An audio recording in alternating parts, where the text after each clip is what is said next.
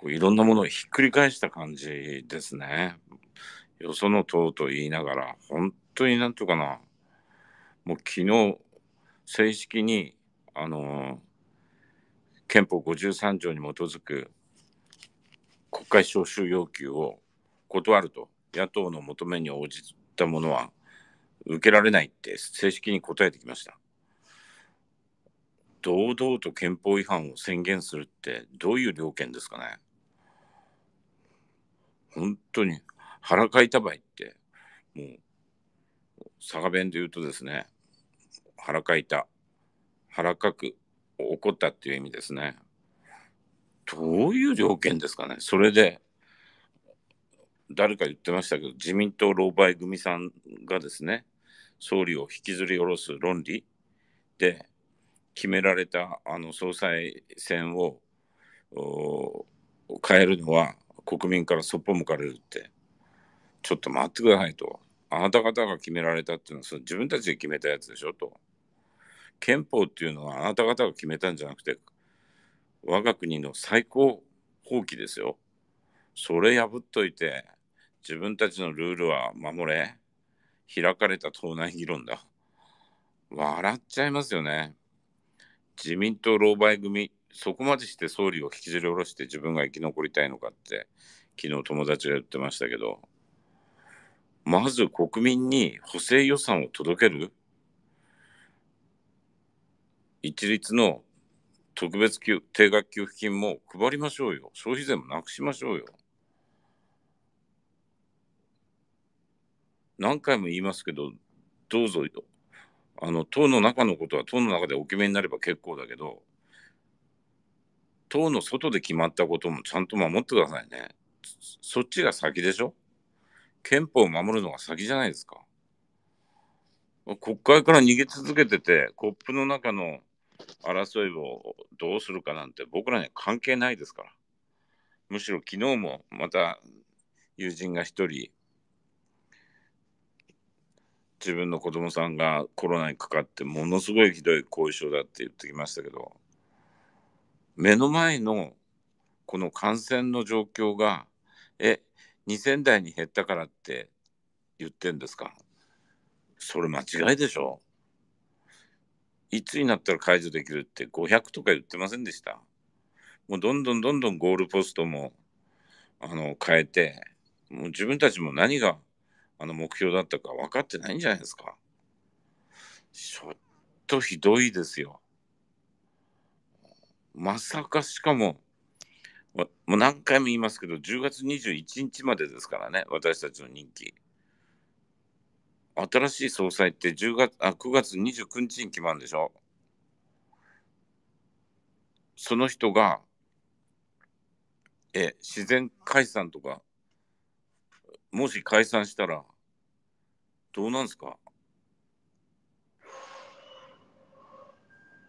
30日以内でしょ。29日に決まるって言ってるわけでしょ。で、30日以内だったら人気の中でできないじゃないですか、選挙。まあ、とにかくその日程はどうなのかわかんないけども、本当にその、まさか居座る気じゃないですよね。10月21日も超えても。いやー、ちょっと不思議な人たちだよなって、もう本当にいい加減にしてくれと。そっぽ向かれてますよ。そっぽ向かれてるのは党の中のああでもないこうでもないということでじゃないですよ。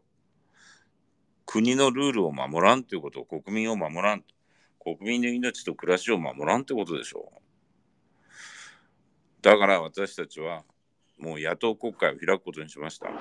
皆さん国会におられませんから、もう早くも総選挙の準備なのか、総裁選の準備なのかを分かりませんけど、ランプついてないですよ、国会。こんだけいろいろあってて、アフガニスタン今日ヒアリングやりますけど、真っ先に逃げ出したんってあれですか？自衛隊の方々を派遣して、その成果は何だったんですか？いつ情報を得たんですか？アメリカのあのある議員がアフガニスタンに。正規ルートじゃないところで入ったってさっき情報が入ってきましたけど彼らは一人も取り残さないと。私も、あの、ペリリュー島に行きました。パラオですね。1万人の日本兵が洞窟にこもって、もう本当、銃弾の雨嵐の中、戦って、残った人はもうほとんどおられませんでしたね。残った人、方々のことも、どんだけ、あの、困難を抱えておられたか。でもですね、今でも遺骨収集してましたよ、アメリカ。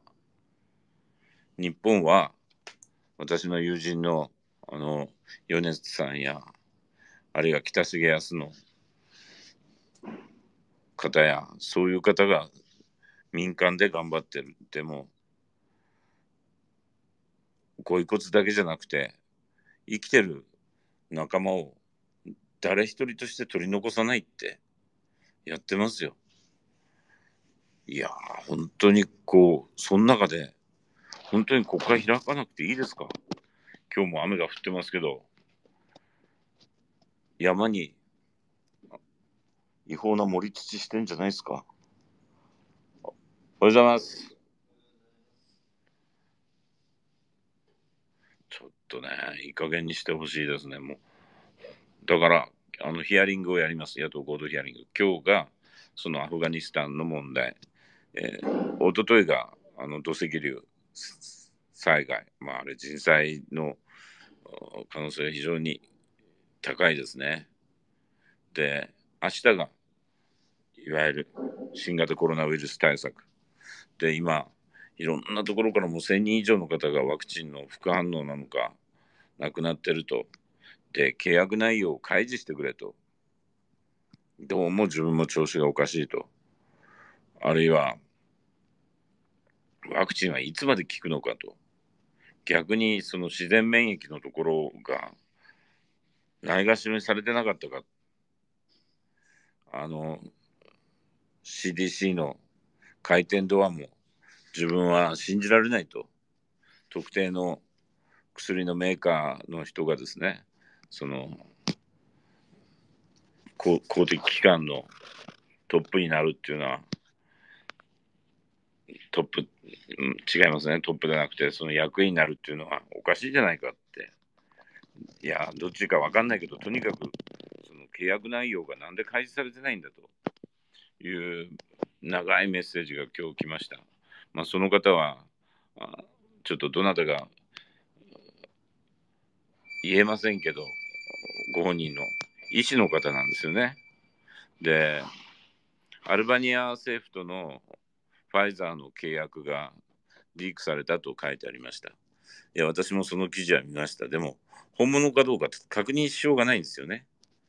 あの、その中身を見ると、私たちが作っている、えー、UAE に、あの、有事における緊急使用許可の面積のところもあって、全部が全部、その、メーカー側がですね、あの、ひどいことになってるっていうことじゃないんじゃないかなって私はその文章を読みながらあの感じましたけどしかしそれにしてもこれだけそのワクチンの反対運動がありそして反対運動のデモだけじゃなくてそのワクチンパスポートなんていうのはとんでもないというアメリカの中の世論も見てみてもあのやっぱり開示っていうのは大事ですね。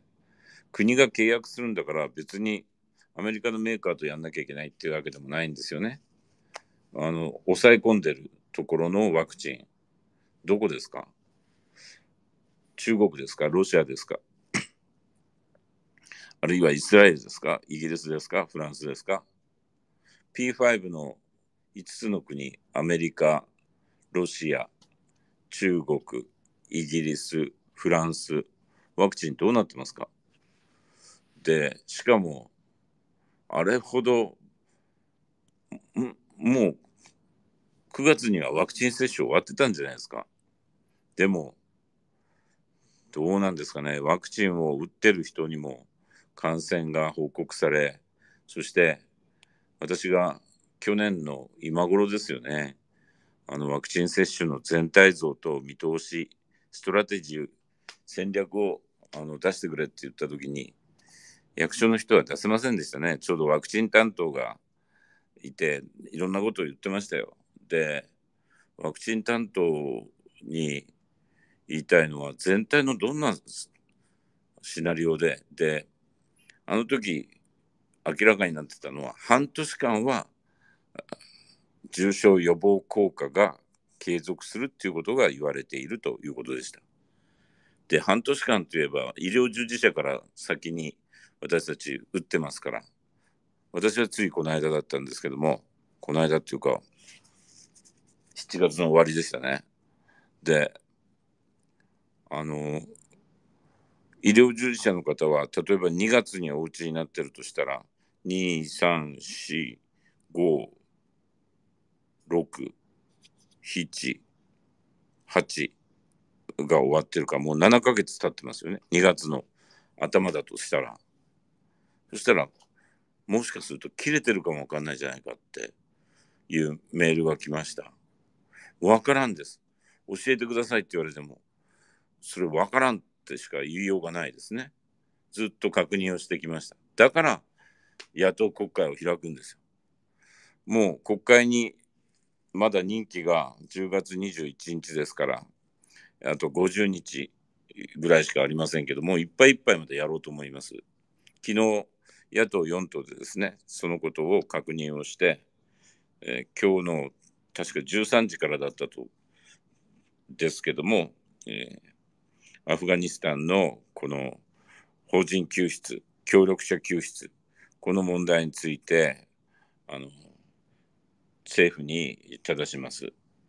で、昨日それに先駆けていろんな方々からヒアリングをしましたけど、ちょっと本当になんかな、戦争中のあの無残な日本陸軍のあの状況と、今とが重なるっていう方がかなりおられて、うん、もう本当になんていうか、これ、火炎といかんですね。でも火炎といかんっつってもですよ、こっち側も、あの、11年前の経験がありますから、もう、新自由主義の緊縮なんていうのは絶対にありえませんね。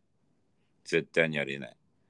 で、神野先生のボット、神野直彦先生のボットっていうので書いてありましたけど、新自由主義者はですね、セーフティーネットを張ると、それがモラルハザードになるっていうことで、セーフティーネットつまりあのサーカスの空中ブランコがありますよね。で空中ブランコの下には、えー、サーカスの団員さんが万が一、えー、綱が切れたりあるいは手が離れたりしても、助かるようにってネットが張ってあるんですよ。でそれをセーフティーネットって言うんですけど社会的セーフティーネットをできるだけ小さくしようとしますね。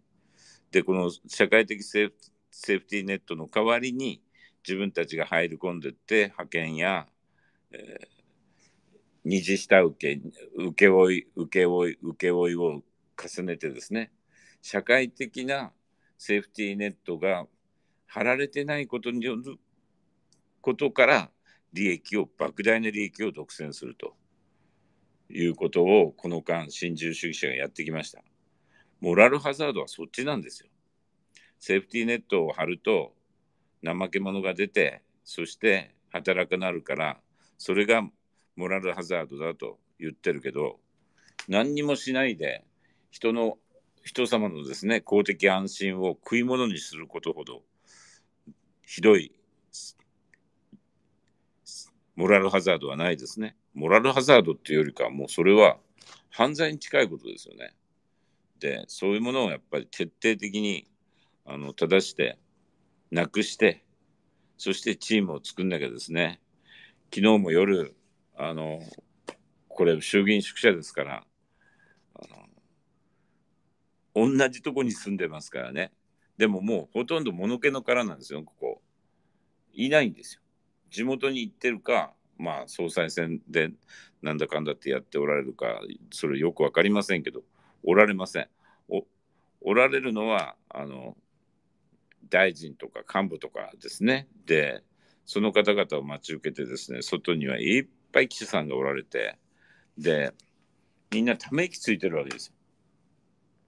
瞑想に瞑想で、まあ、記者さんたちもこのコロナの中で体張ってやってるわけですね。でも、なんていうかな、本当のジャーナリストっていうのが、あの、こ、ここでも見えてきましたね。昨日も、安住さんが朝記者ブリーフをしてるんですよね。それ聞いてたら。うん、面白いですね。まあ彼は、え、元記者なんでですね、NHK の。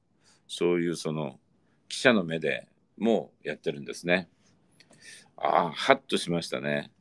かつてはですね、私それが全然いいこととは思わないけども、その、かつて私がいた自民党ではですね、官僚出身者、それから2世出身者、これがどんどんどんどん増えてきたんですね。だけど、かつては、あの、メディア出身者も政治家になったりしてるんですよ。安住さんみたいにね。で、結構なあの力を持つんですね。だけど、誰が言ってたかな、もうにに15年ぐらい前のことだったと思いますけど、自分が政治家になった時にどうだっていう目で、あの、記事を書く人がすごく減ったと。むしろその会社の論理、忖度で潰されていく人が多いって言ってましたね。誰だったかな？あれ、すごい有名なジャーナリストの人だったですけど、名前を忘れてますね。有名な人だっていう記憶はあるんだけど、その人が嘆いておられた言葉ですね。私は必ずしもそうは思わない。やっていうか、この頃はですよ。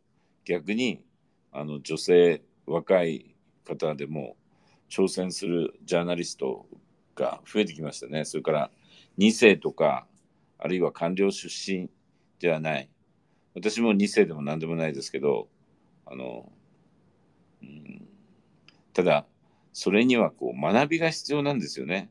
私はたまたま松下政経塾っていうところで選挙についても学べましたけど、こう普通は危なくてですね、近寄りたくないと思います。私も何回も学べば学ぶほど古くて、学べば学ぶほど汚くて、なんと当時はですね、政治資金収支報告の調査って、えー、言ったんですけど、000なんですよ。報告義務をサボってんですよ。それでも、あの、なんていうかな、通る。で、当時、私が先輩に言われたのは、この世界に入るんだったら、たよそ様のお金のことと、あるいは男女関係のことは決して口にしちゃいかんと。もう男女関係のことはプライバシーですから言うわけないけど、汚いお金集めてる人は、それ徹底的にやるべきでしょって言った覚えがありますね。